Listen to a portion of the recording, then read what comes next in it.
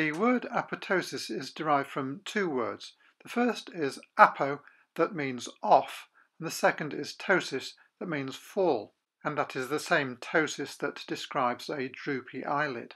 So apoptosis is when a cell falls off or falls out. And it also explains why apoptosis is pronounced apoptosis and not apoptosis. And in the most simple terms, Apoptosis is a form of regulated single-cell death. But there is a lot more to it than a single dead cell. What happens is the cell is carefully and deliberately dismantled, allowing it to be broken down into membrane-covered pieces, these are known as apoptotic bodies, and these fragments are rapidly phagocytosed, and this way no harmful intracellular products are released leaving adjacent cells unaffected and undamaged. Apoptosis plays a key role in embryological development, where programmed cell death allows the development and differentiation of the embryo. Later on, apoptosis is essential in physiological control of proliferating cells and immune surveillance. Apoptosis, of course, also plays a role in damaged or diseased tissues. Apoptosis plays a number of roles in embryology, for example, removal of redundant embryological structures such as the urachus. It allows tissues and organs to differentiate, for example, the male and female sex organs under hormonal control. And finally, if it wasn't for apoptosis, our fingers and toes would still be webbed. In fact, we'd just be a ball of undifferentiated tissue. One good example of hormone-controlled apoptosis is the breakdown of endometrium during the menstrual cycle. Apoptosis regulates continuously proliferating cell populations in tissues such as the epithelium of gland crypts in the intestine, and apoptosis plays an essential role in immune surveillance, for example, destruction of damaged and infected cells.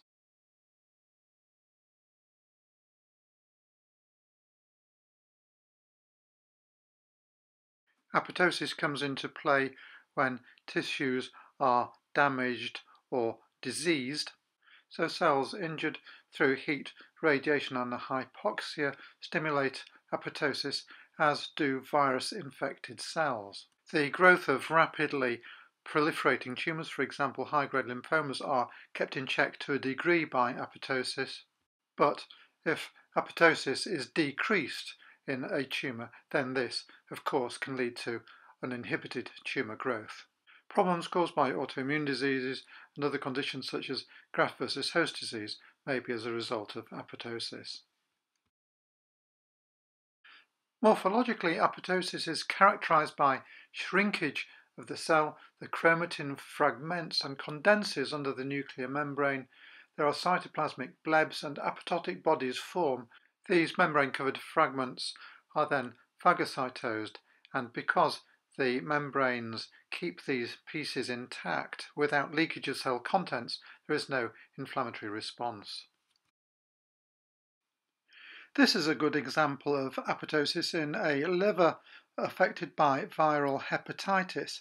We're zooming into an eosinophil body or Councilman body. This is an apoptotic cell.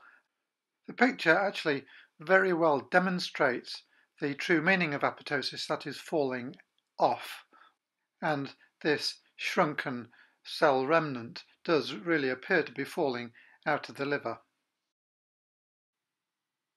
This is a section of lymph node from a patient with high-grade B-cell lymphoma, and you can see multiple apoptotic bodies. And these are the scattered dark specks lying amongst the tumour cells. This is a section of another high-grade lymphoma, and this is Burkitt lymphoma. One of the characteristic histological features of Burkitt lymphoma is the so-called starry sky appearance. The stars in the starry sky are caused by apoptosis and the apoptotic bodies are phagocytosed by macrophages. These are sometimes called tingible body macrophages because they contain stainable fragments. The mechanism of apoptosis is quite complex and there are two main pathways. The first is the extrinsic or death receptor pathway. Here, special receptors on the cell surface called death receptors are activated by external molecular signals that tell the cell to die. The intrinsic or mitochondrial pathway occurs in cells that are faulty or when there are no survival signals. Before we go into more detail about the intrinsic and extrinsic pathways, it's worth looking at some key molecules involved in apoptosis. BCL2 and BCLX inhibit apoptosis, BAX and BAK stimulate apoptosis, and P53 also stimulates apoptosis. Starting off with the intrinsic pathway, BCL2 and BCLX are inhibited. This allows BAX and BAK protein to be produced.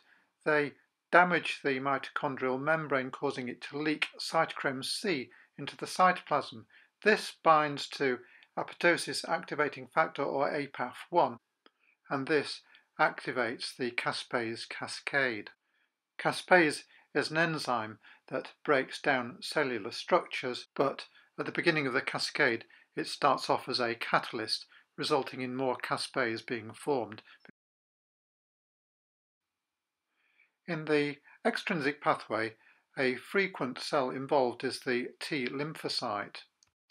Here, the Fas ligand or Fas-L on the T cell binds to the Fas receptors on the target cell to which Fas associated death domain or FADD attaches.